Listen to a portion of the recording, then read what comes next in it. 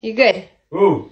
я тут кроссворд разгадываю. А, Четыре буквы. Что доносится из спальни? Четыре буквы? Да. Храп. Ну, храп это у нас с тобой. А вообще-то, наверное, стон.